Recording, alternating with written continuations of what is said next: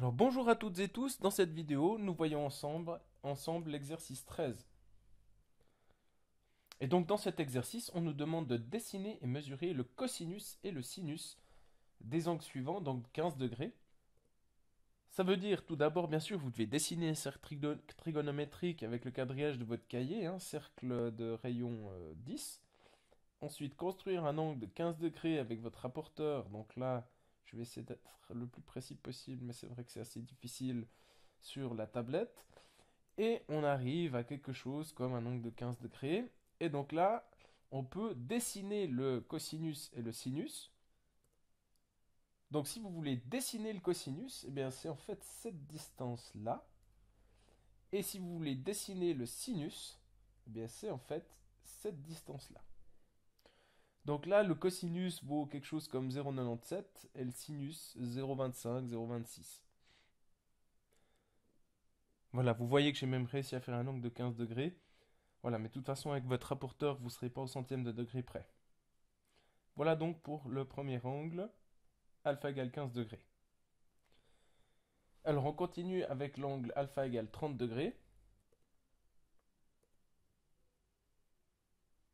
Donc là, je suis à peu près à 30 degrés, mais vous n'arriverez pas à être plus précis que ça de toute manière euh, avec votre rapporteur. Donc on a notre angle alpha égale 30 degrés ici. Hum, le sinus, enfin disons le cosinus, il est là. Hein. Cosinus de alpha, donc c'est à peu près 0,87. Et puis le sinus, vous voyez ici, alors lui, il est exactement 1,5.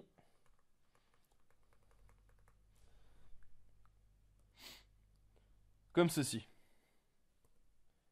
On passe donc au C, enfin au troisième euh, élément là, alpha égale 60 degrés. Voilà, je suis presque à 60 degrés, mais vous ne serez pas plus précis avec votre rapporteur. Donc de nouveau, on a le cosinus qui est ici, et qui vaut, cette fois-ci, c'est le cosinus qui vaut 1,5. Et puis le sinus qui est là, équivaut cette fois à peu près 0,87.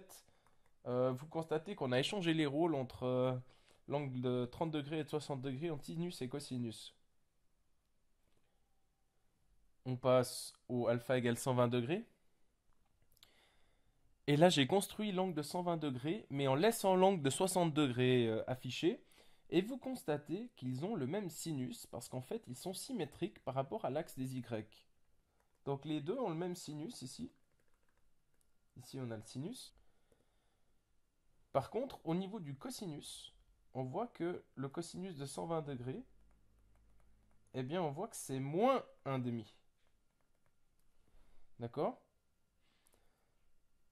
Donc, en fait, les angles de 60 degrés et de 120 degrés, ils vont un peu ensemble, ils ont le même sinus. Parce que le point ici et le point là, il y a la même ordonnée. Par contre, ils ont un cosinus opposé. Donc on peut écrire ceci comme ça.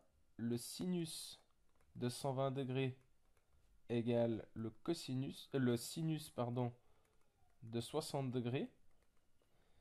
Mais le cosinus de 120 degrés égale l'opposé du cosinus de 60 degrés. Et en fait, on peut écrire ça de la manière suivante. Le sinus de 90 degrés plus 30 degrés c'est le sinus de 90 degrés moins 30 degrés.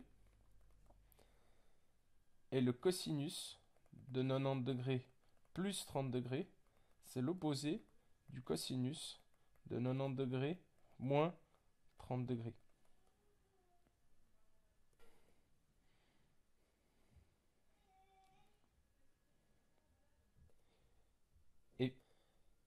Et finalement, pour le dernier, je n'ai presque pas besoin de vous montrer comment faire, vous avez compris. Donc là, un angle de 135 degrés. Donc on a le cosinus ici qui vaut moins 0,71 et le sinus ici qui vaut 0,71.